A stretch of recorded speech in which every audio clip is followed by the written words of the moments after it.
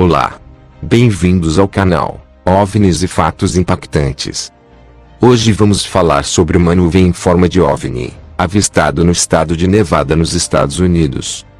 Mas antes, deixe o seu like, inscreva-se no canal, e ative o sininho para receber as notificações de novos vídeos. Vejam só! Uma incrível nuvem em forma de OVNI foi filmado na estrada por uma mulher no estado de Nevada nos Estados Unidos.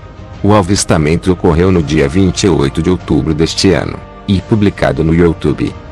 Scott Waring também compartilhou o vídeo no seu blog.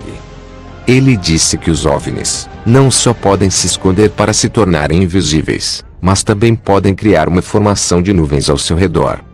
Segundo o proeminente caçador de alienígenas, a nuvem com uma linha no meio foi causada por uma nave alienígena que possivelmente estava escondida dentro da nuvem. Já os cientistas chamam o fenômeno de nuvem lenticular. Mas, para muitos é um OVNI camuflado nas nuvens. E para você? O que seria esse fenômeno? É uma nuvem lenticular? Ou de fato é um OVNI em forma de nuvem? Deixe o seu comentário e participe da nossa enquete. É isso pessoal. Se gostou do vídeo deixe o seu like, inscreva-se no canal e compartilhe o nosso link. Até o nosso próximo encontro.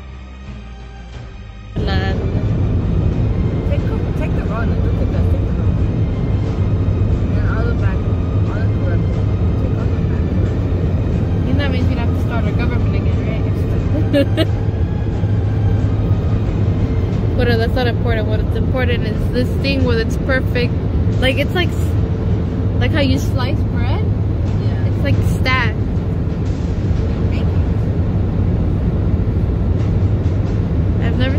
contemplation like that. And it's